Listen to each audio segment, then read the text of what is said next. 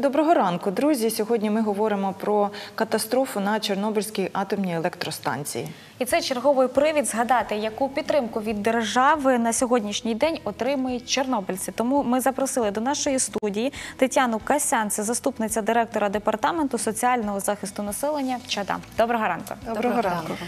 Пані Тетяно, які взагалі існують категорії чорнобильців? Е, Так, дійсно, сьогодні, 26 квітня, ми вшановуємо пам'ять жертв Чорнобильської катастрофи.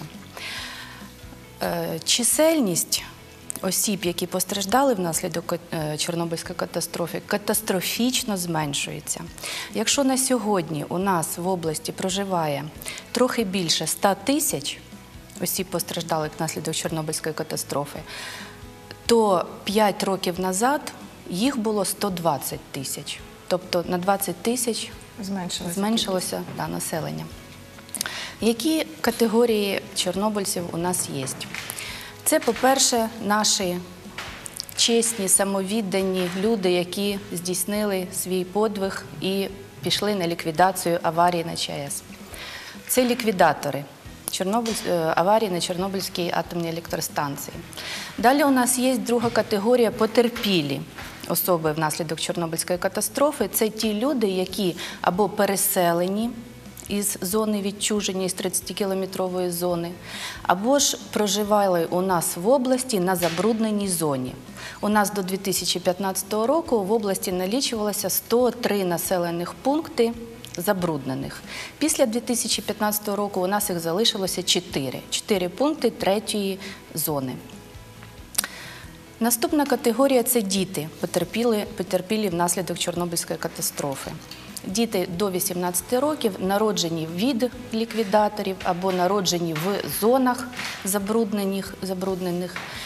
Також серед дітей є категорія е, діти-інваліди, е, діти з інвалідністю, інвалідність яких настала внаслідок Чорнобильської катастрофи. І ще я не назвала одну категорію. Це перша категорія. Туди входять і ліквідатори, і потерпілі. Це люди, яким встановлена інвалідність. Інвалідність пов'язана з Чорнобильською катастрофою. Які пільги вони мають? Які пільги у нас на за- на зараз, зараз визначені державою? Ну, насамперед, це е, поговоримо про лікування да, чорнобильців. То медичні. Да, медичні пільги вони мають право на отримання ліків за безкоштовними рецептами лікарів. Тобто в поліклініці або в лікарні лікар виписує рецепт чорнобильцю, він іде в аптеку і отоварює цей рецепт, отримує ліки. От на сьогодні у нас в області, наприклад, в обласному саме бюджеті виділено 15 мільйонів гривень на всю область. Ці кошти розподіляються і на райони і міста для отримання ліків в місцевих аптеках, і на наш радіологічний центр, який знаходиться у нас в обласній лікарні. Ви знаєте, да, відділення у нас є радіологічне, які лікуються там саме чорнобильця, спеціалізоване відділення, і на зубопротезування.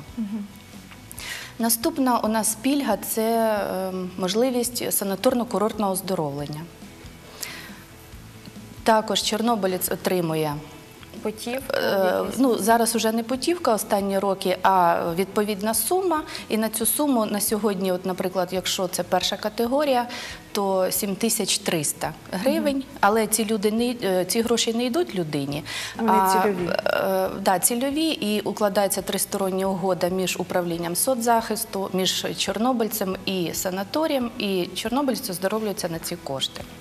Е, Це е, пільги як для ліквідаторів, так і для потерпілих. Да, але для першої категорії, тільки для, пер- для осіб з інвалідністю. От, е, і санаторно-курортне оздоровлення мають право оздоровитися дітки з інвалідністю. Там їм трішечки більше вартість 14 тисяч гривень. Е, Наступна пільга, ну це я вам так розкажу, да, і всім телеглядачам для загального розвитку.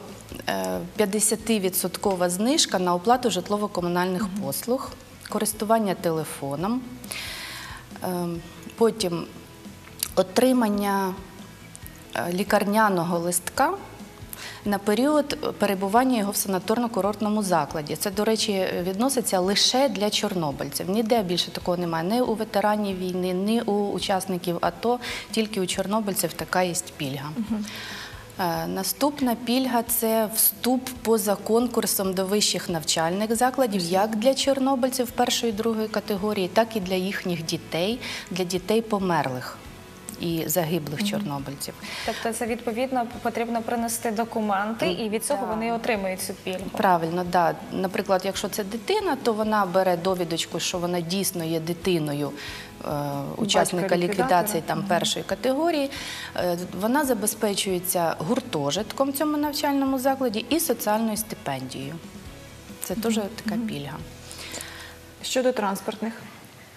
Користуються е, міським і приміським е, транспортом. Транспортом. Так, чорнобильці. Безкоштовно. Безкоштовно, так. Да.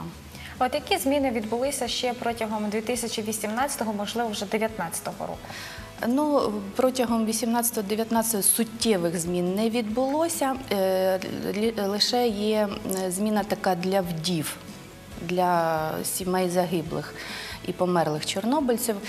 Це при е, отриманні, при тому, коли хочеш нарахувати пенсію собі, да, от, е, чоловік загинув, а вдова залишилася і йде в пенсійний фонд нараховувати пенсію собі за, за чоловіка, то на сьогодні їй не треба висновок експертний про те, що чоловік загинув внаслідок Чорнобильської катастрофи. Трохи облегшили оцей шлях.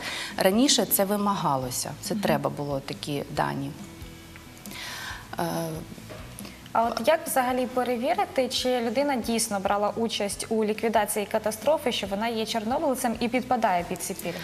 Е, У нас в області є обласна комісія при облдержадміністрації з питань видачі посвідчень особам постраждалим внаслідок Чорнобильської катастрофи. Всі спірні питання, всі питання по визначенню статусу.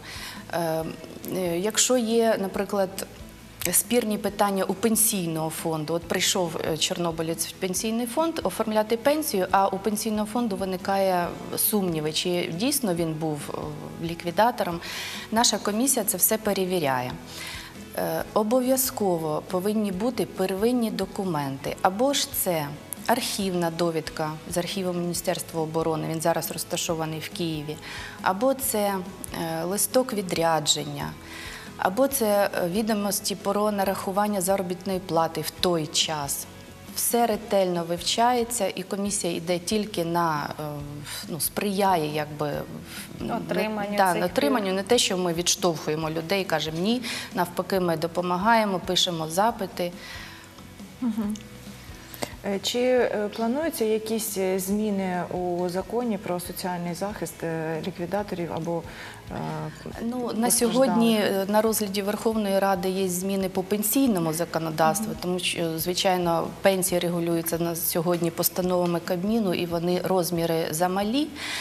Е, Але я би ще хотіла сказати, згадали за зміни. У нас є ем, нова постанова Кабінету міністрів про видачу посвідчень. І там є е, невеликий пункт, в якому сказано, що до 1 січня 2020 року ми повинні замінити бланки посвідчень. Першої категорії це і ліквідаторів, і потерпілих, і ліквідаторів другої, третьої категорії з числа тих учасників ліквідації, які брали участь у інших ядерних випробуваннях, не у Чорнобильській е, зоні. Е, На сьогодні ми вже замінили, заміна розпочалася 15 лютого. На сьогодні ми вже замінили тисячу посвідчень. Плануємо до кінця року завершити цю роботу. Так що, будь ласка, хочу звернутися до наших шановних е, ліквідаторів, потерпілих першої категорії. Якщо ви ще не встигли подати документи, то, будь ласка, звертайтеся до регіональних управлінь соціального захисту.